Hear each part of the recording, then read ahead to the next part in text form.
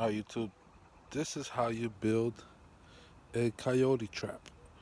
I got this from a battery that holds a battery down on any car.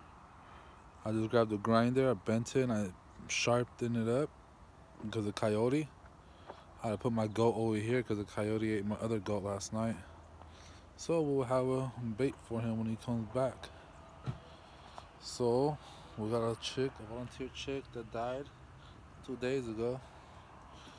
So I'm gonna put him on here. So when the coyote jumps up to eat the chick, he's gonna get stuck on here and he's gonna die there. And then I'm gonna feed him to my pigs.